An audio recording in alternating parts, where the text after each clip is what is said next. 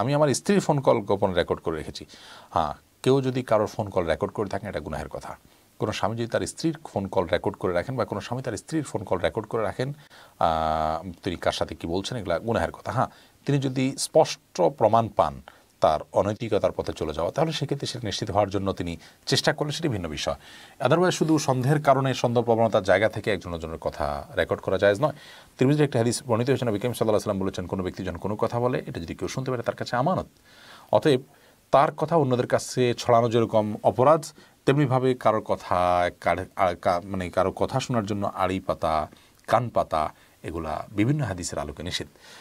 স্বামী স্ত্রীর মধ্যে বেশিরভাগ ক্ষেত্রে এই সংশয় এবং সন্দেহ প্রবণতা মানুষকে সমস্যার দিকে নিয়ে যায়।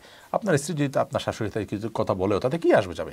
আপনি তার সাথে সম্পর্ক ভালো রাখুন, আপনি তার অধিকারগুলো আদায় করুন, আপনি তার আস্থা অর্জন করার চেষ্টা করুন, অহেতুক সন্দেহ প্রবণতার মধ্যে ভুগবেন না। তবে হ্যাঁ যদি ব্যাপারটা এরকম হয় যে তার চারিত্রিক কোনো ইস্যু আছে এবং সেটা আপনি মনিটর করতে করাটা দরকার মনে করেন, তাকে নাসিহা করার উদ্দেশ্যে, সেটা কিন্তু ভিন্ন বিষয়।